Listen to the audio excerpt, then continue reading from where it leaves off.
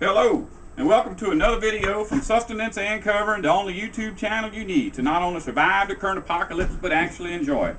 And today, we're going to talk about waste disposal. In particular, human waste disposal, which is an important thing because uh, once this world as we know it comes to an end, you're still going to have to deal with that. And I have a book I wish you luck in trying to find it. Uh, it's a, probably the, one of the best books I've ever read in my life. It's called The Human Humanure Handbook. And I don't know if you can see that. It's by, who's it by? J.C. Jenkins, The Human Humanure Handbook. I got this in 1994 from Loompanics Unlimited. And I looked them up recently. They out of business, been out of business for probably 15 years. And no one has taken over. So whether or not somebody else is printing this, I couldn't tell you. On the back it says, if you can't flush it or don't want to, what can you do with it? Well, we're going to answer that right now. I highly recommend the book though. But this little bit of information can get you started on the road of at least understanding what, what this is all about. Here is my toilet. I keep it covered so when company comes over, they don't know what it is. Just a little rug. And all it is, is a box with a toilet seat on it. Now, this is based on a five gallon bird seed bucket or paint bucket, whatever you call it. Hush up. But anyways, uh, because uh, uh, the bucket is kind of high, it's a little uncomfortable, so I put this board there just to raise my, my floor up in the front of it. To empty this, all you got to do is pull the bucket out. And I'll wash this bucket just for this video. I never wash it because, you know, what's the sense of washing something you're going to poop in? But it's just a plain old five gallon bucket. You can take this out every day and put it in your compost pile, which is what I recommend. Back in the old days when they had laws regulating uh, toilets, uh, when my daddy was growing up, they had outhouses. An outhouse had to have a hole underneath it and it had to be so deep and so wide and all that. But burying poop is not a good solution. It just uh, makes a lot better sense to compost it. And you can use it just on fruit trees, but honestly, you could use it on anything if you want. I don't, I, I don't use this on anything but fruit trees because uh, just because of the psychological impact of it. But anyway, this here next to it is the next thing we're going to talk about. And you can do a YouTube search. I mean, it's not a YouTube search. I don't think anybody's got a video. But you can do a Google search of family cloth because when the gas runs out and the groceries runs out, toilet paper's going to run out. Uh, family cloths are not normally something you buy from the store. These are just shop rags. I keep them just for that purpose.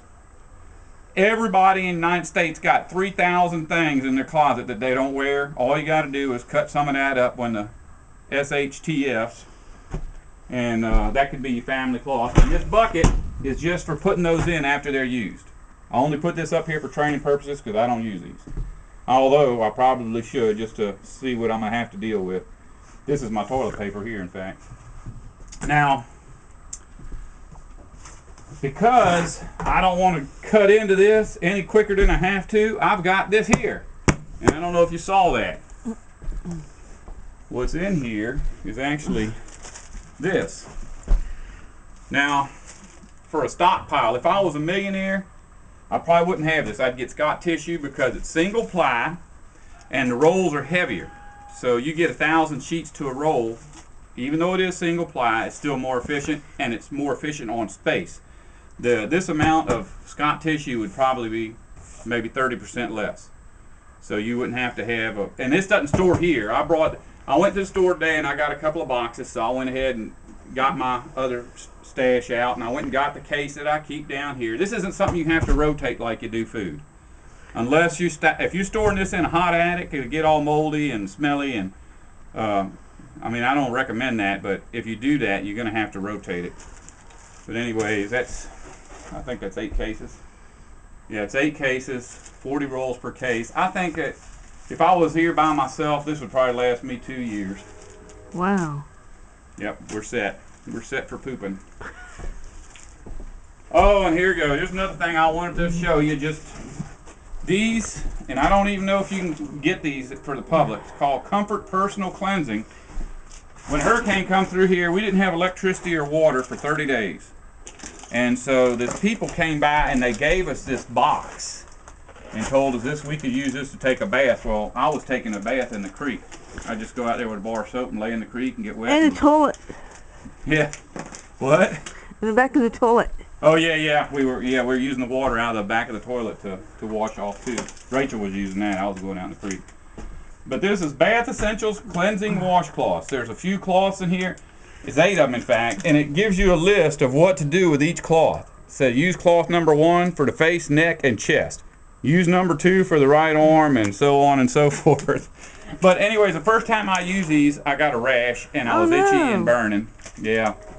But the second time, I decided to just to uh, get some out a while back and see if they were still uh, wet or if they had dried out and they were still wet, and I used them, and it didn't make me have a rash. So, but I got two cases of these still, and they're set aside that you know if I'm hunkered down in my underground bunker somewhere that don't have any water, I can still take a bath actually.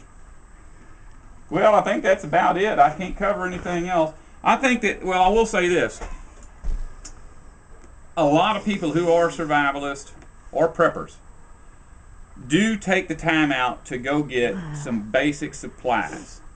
You know, and if you get it, like food or whatever, if you're getting foods that you do not normally use simply because they're a good survivalist ration, you need to use them just to familiarize yourself in advance so that when the end of this world as we know it comes, you're not sitting there staring at your supplies wondering what's what's going to happen. And it's something as simple as a toilet. Everybody knows how to go to the toilet. But this is a change. We've got a box with a bucket in it. We're using as a toilet, and I have been using this for I don't know a year or so. And uh, whenever there's no more toilets, I, it's not going to affect me.